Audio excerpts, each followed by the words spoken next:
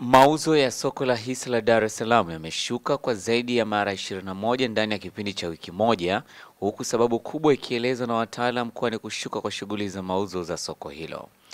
Takwimu za soko hilo zimetolewa na Emmanuel Nyalali zinaonyesha kuwa wiki iliyoisha Ijumaa ya Agosti 23 mwaka huu, mauzo yalikuwa shilingi milioni 351.7 ambapo yameshuka kutoka shilingi bilioni 7.5 katika wiki iliyoishia Agosti 16 mwaka huu. Hata hivyo thamani ya mauzo ya hisa uh, ilishuka uh, chini uh, na kufikia uh, milioni 351 uh, point 69 ukilinganisha na wiki iliyotangulia ambayo ilikuwa ni bilioni 7.5. Uh, kaunta ya CRDB ndio ilifanya vizuri kwa kuchangia asilimia uh, 85.23 ya thamani ya uh, hisa zote ambazo uh, ziliuzwa zili, zili Anguko hilo la mauzo ni sawa na asilimia 95.3 au zaidi ya mara 21 katika kipindi cha wiki moja.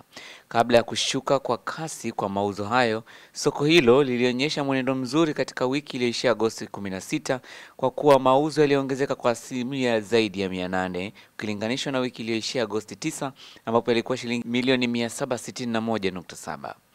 Wakati mauzo yakishuka katika wiki iliyoishia Agosti 23, pia mtaji wa soko hilo nao umeporomoka kidogo hadi kufikia shilingi trilioni 19.11 iliyorekodiwa katika wiki iliyoishia Agosti 16. Nyalali ameainisha kwamba bei za kampuni za EABL, Acacia, Kenya Airways na NMG nazo zimeshuka huku thamani ya soko katika makampuni ya ndani imeendelea kusalia kwa bilioni 9.